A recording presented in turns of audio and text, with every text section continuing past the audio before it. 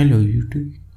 So I saw this cute reference image on Pinterest and I wanted to see if I could recreate this in Blender. I don't know who the actual artist is.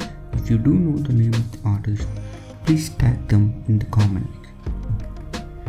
This video is about the process I followed. This is not a follow along tutorial.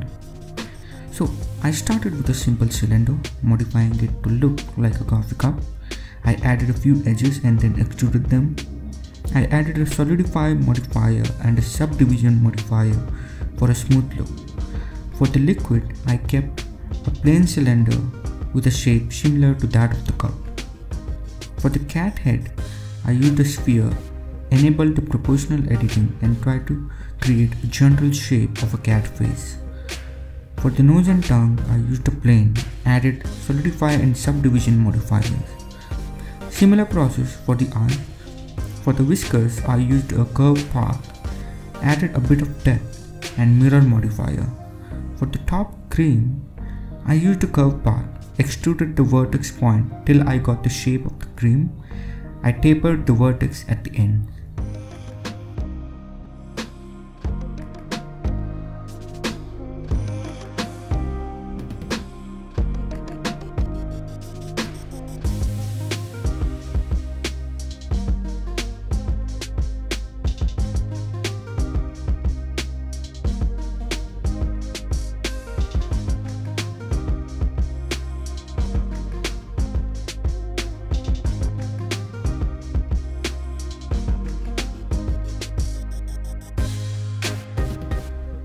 Coming to the texturing part, I used a wave texture with sine wave on the z-axis connecting it to a color ramp.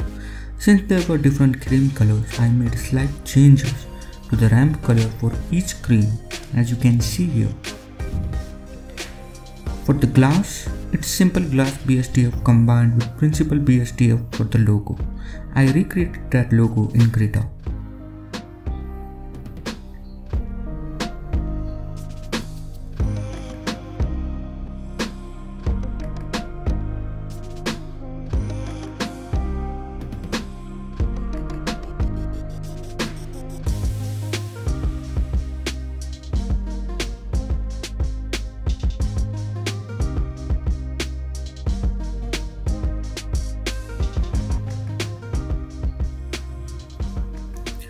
For the coffee, I used a diffuse BSDF with a custom texture paint. I played with the colors a bit. I kept different textures for different coffee shades.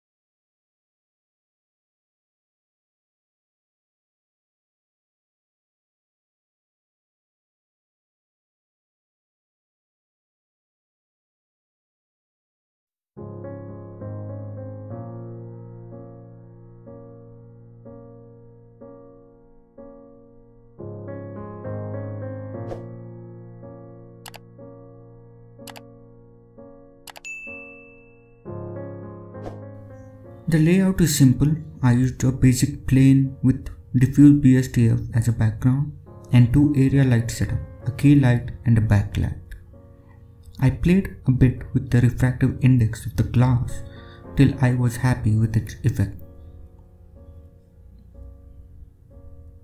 Since there were different kind of cat heads, I resorted to using weight paint for different hair patches on the kitty.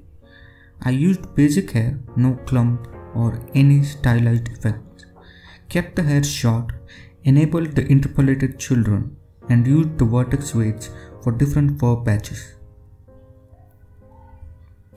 For different cats, different patches. All cats are different.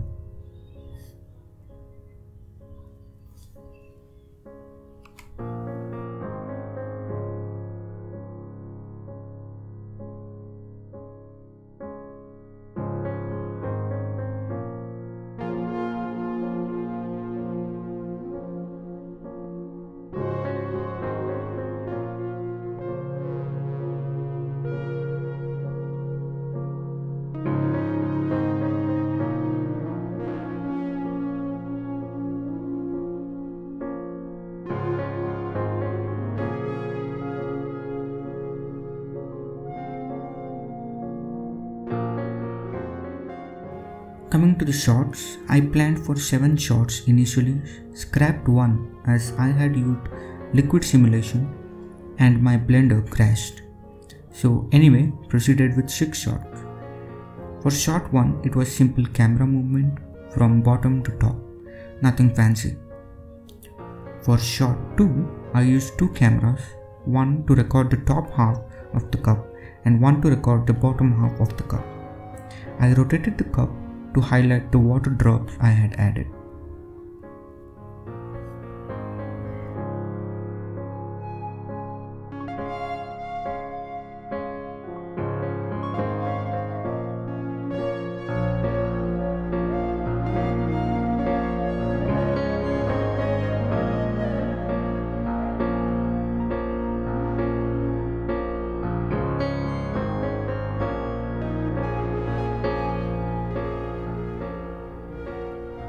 Next, I made shot 5 as it was similar to shot 1 and 2. No camera work, just animated the background color and then changed the coffee flavors.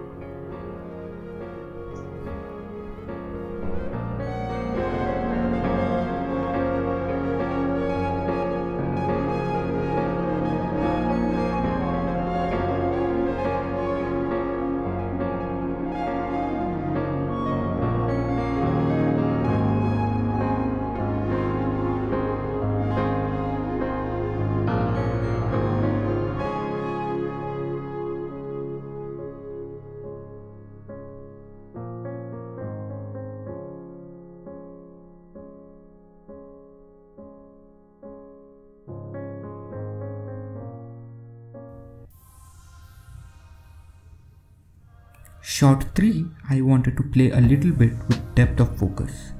So I made two small stages on which the coffee would be kept and I wanted them to rotate 180 degrees on alternate end so as to bring each coffee in focus.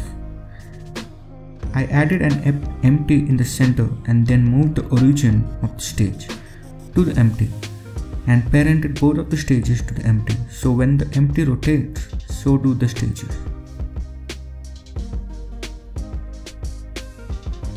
Then I added an empty circle and parented the whole coffee cup to the circle so I could move all the stuff around easily.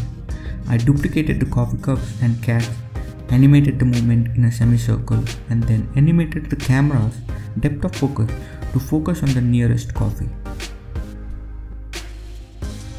Here I did use the 3 point lighting system. I added fill light on the top and animated the lights to highlight the coffee nearest to the camera. For shot 4, this shot I wanted to animate the background with some fun effect. I wanted a zooming kind of effect to happen with the focus on the coffee. I added a wave texture to the original background. I made texture coordinates to originate from an empty. I placed this empty right in middle of the green stage so it looks like the wave is emanating from the stage.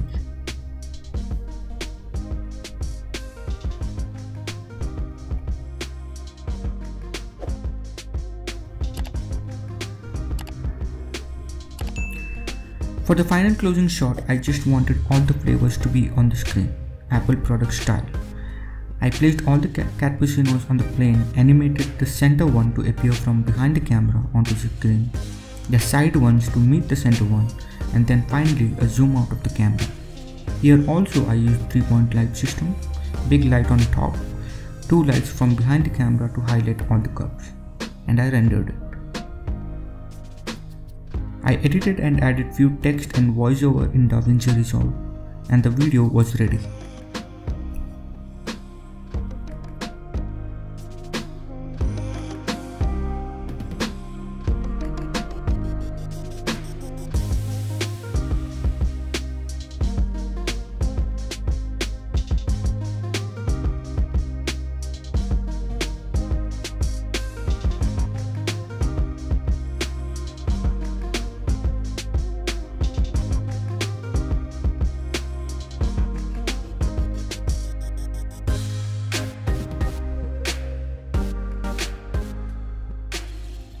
That's all folks. Hope you had all enjoyed the video and learned something.